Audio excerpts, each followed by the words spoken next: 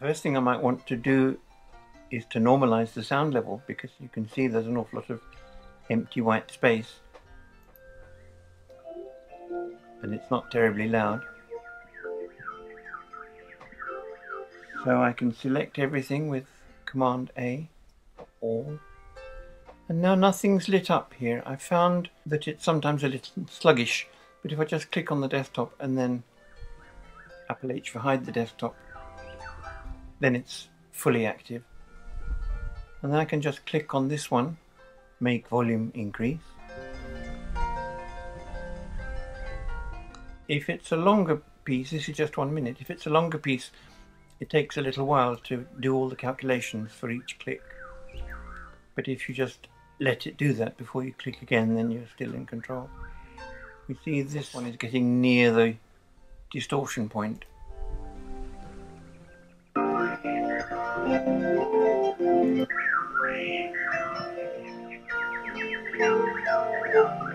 Seems to be fine. What we could do then is to select the rest of it, which isn't so loud. And we have three ways of doing a selection. If we deselect first with Command D, then I just click and drag like in any word processor and then apply the increase volume there. I can mess around in lots of different places, but it'll probably be a bit untidy if I do it more times.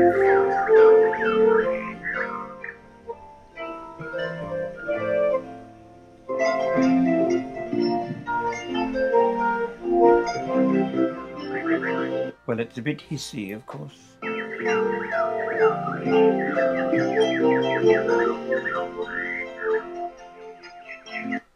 The birds were recorded outside the house quite some years ago using a very old Mac. And then I've added the harp afterwards, so there's plenty of places the hiss can have come in. If the selection is the right length but not in the right place, I can simply drag it like that, which is rather neat. That would be useful, for example, when you need music for a video clip or for a DVD menu. The second way of making that selection is simply to press on the in and out buttons here while it's playing. I've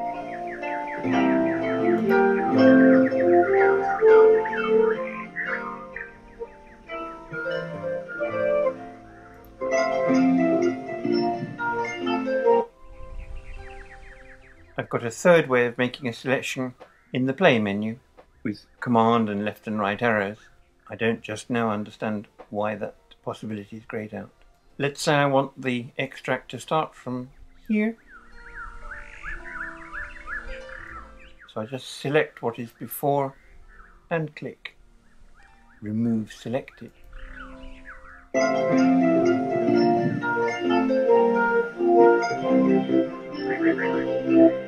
there it's going to start normally so I do a fade in. I can't determine the speed of the fade in, whether it's fast or slow. It seems to be continuous speed. But what I can do is to reapply the fade in several times and you can see then it becomes steeper curve. I can't go in the opposite direction.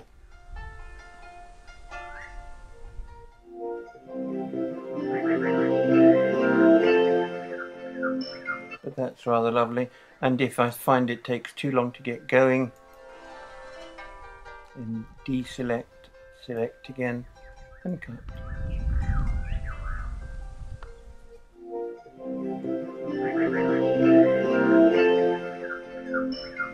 A very nice detail in this program which I haven't seen in other sound programs, although you've got it in Photoshop and perhaps some others too, is the crop tool. You make a selection and then delete the rest of it, what's around it, so you keep the thing that is selected.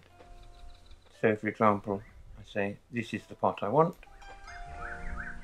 and then crop, remove non-selected. Very nice.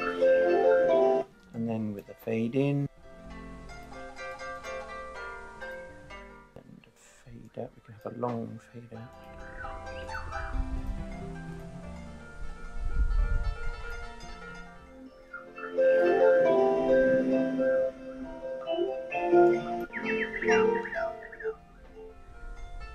Now perhaps ready to save, as far as I can see, it doesn't make any difference whether you choose save or save as.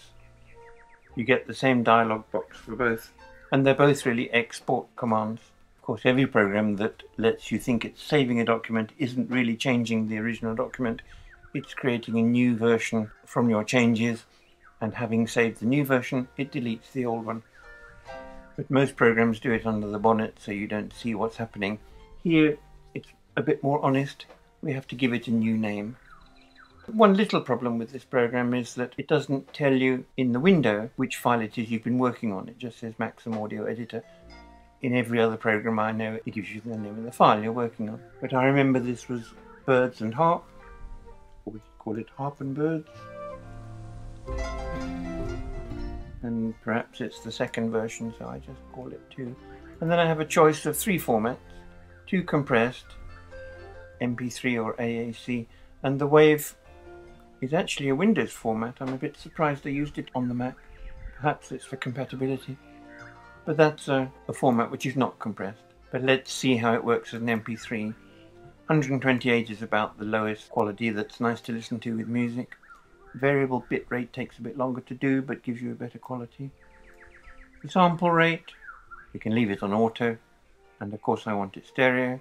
It's on the desktop.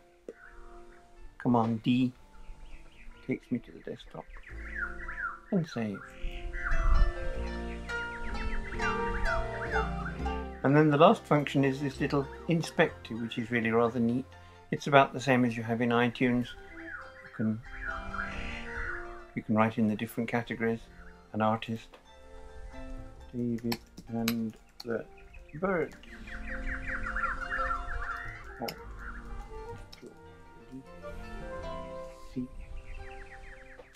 Album? Not yet. Composer?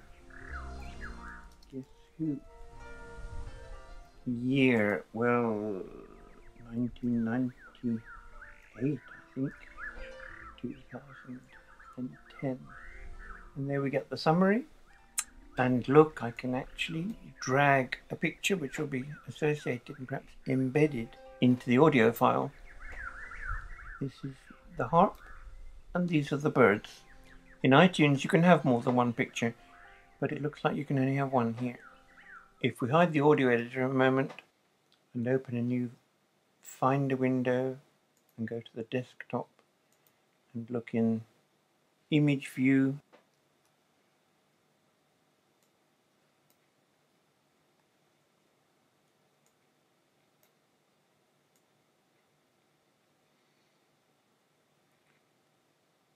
we see that none of the audio files have got their own images.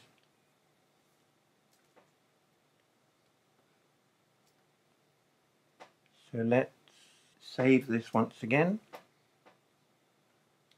Save it as AAC this time. Harp and birds two. Hide the editor. There we see harp and birds with Rick's birds as the icon.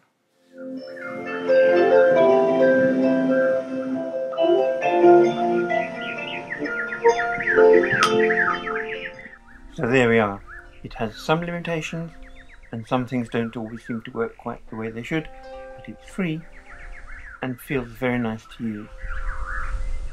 www.macsome.com